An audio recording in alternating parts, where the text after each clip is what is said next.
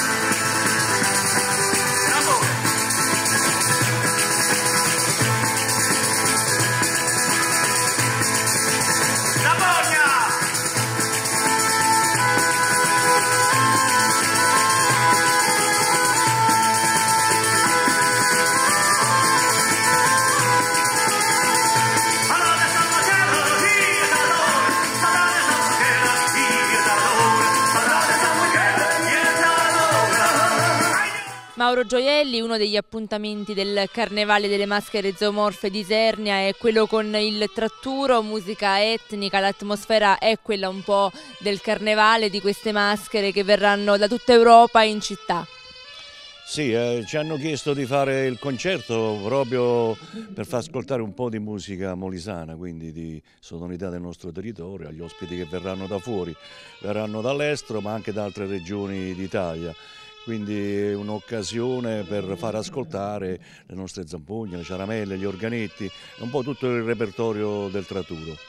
Ecco un repertorio che si sposa bene con quelle che sono le tradizioni del carnevale, non soltanto isernine ma anche appunto europee. Più volte lei ha parlato anche della fratellanza che c'è tra Molise e Croazia.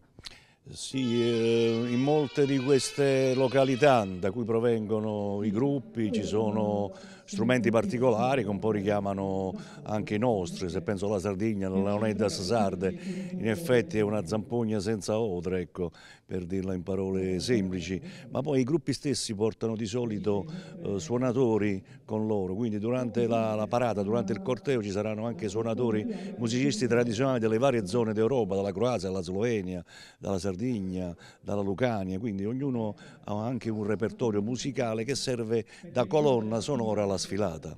Ecco l'ennesima occasione in cui la musica incontra quelli che sono gli eventi, le tradizioni, anche le differenze. Beh sì, la musica si sa è un linguaggio universale. Noi abbiamo avuto la fortuna di suonare praticamente in tutto il mondo, in numerose nazioni estere e non c'è bisogno di spiegare più di tanto quel che stai facendo. I suoni arrivano e la gente comprende se stai facendo una tarantello, stai cantando un canto d'amore, eh, anche il testo, se pensi che i nostri testi sono quasi tutti in dialetto, quindi sarebbero incomprensibili anche in, in diverse aree geografiche italiane, figurarsi all'estero, ma si sa, insomma, la musica è un linguaggio universale, quindi credo che il messaggio che vogliamo dare eh, con i nostri suoni, con i nostri canti, sia comprensibilissimo. L'amore mi aiuta, l'amore mi aiuta, aiuta tu. L'amore mio ritorna, torna da foggia. La riportano a rosa de maggia.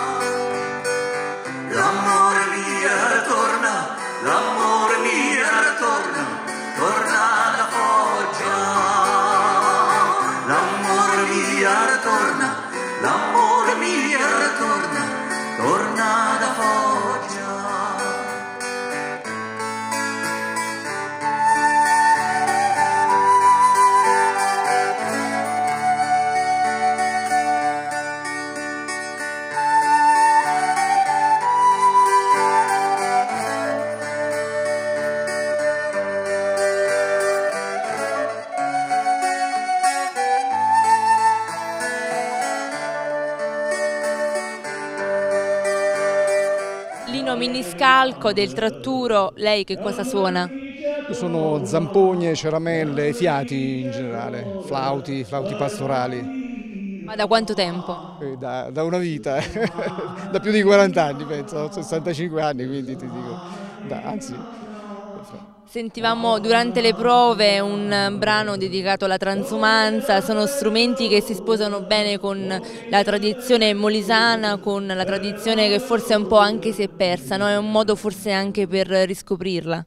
Ma noi sono veramente decenni che cerchiamo di portare avanti eh, queste tradizioni e credo eh, si- sia anche molto gradito il fatto, lo dimostra il fatto che, che sono veramente 40-50 anni che, che suoniamo, eh, che cerchiamo di, di- di portare in giro gli strumenti che sono della nostra tradizione, tipiche le zampogne, le ceramelle e poi anche il repertorio, c'è Mauro che è un grande studioso, ricercatore che negli anni ha fatto grandi cose per, per la musica etnica molisana.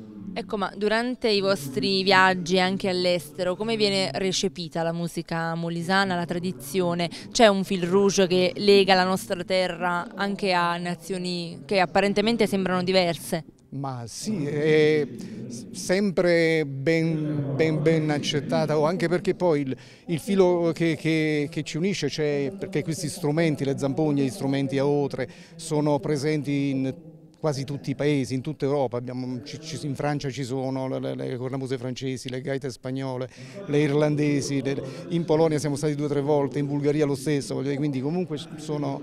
eh, Forse ecco, è un peccato che non siamo riusciti a valorizzare molto questo discorso grosso all'inizio degli anni 2000, forse si è fatto su Scapoli con, eh, con un progetto e poi forse si è, si è un po' persa, c'erano delle grosse potenzialità per, per la regione, per eh, essere il centro proprio almeno d'Europa de- per, per questo strumento. All'inizio degli anni 2000 questo è, è- è stato fatto un grande lavoro che poi un po' si sta perdendo, speriamo che si riesca a recuperare e a fare meglio ancora.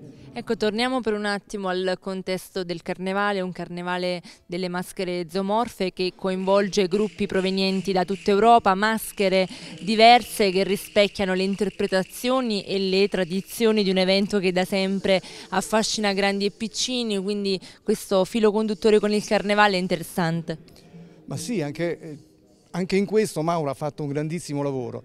Per esempio per la ripresa del, del cervo di, di Castelnuovo al Volturno, ha fatto pubblicazioni già da- da- negli anni Ottanta, voglio dire all'inizio è stato uno dei, dei principali organizzatori per, per la ripresa di questo carnevale. E poi qualche cosa si era fatto anche in Isernia in passato, però sono molto contento che siano riusciti a rimettere insieme questa bellissima manifestazione. Credo che quest'anno stiano facendo delle cose molto molto interessanti e- e importanti. Ooh.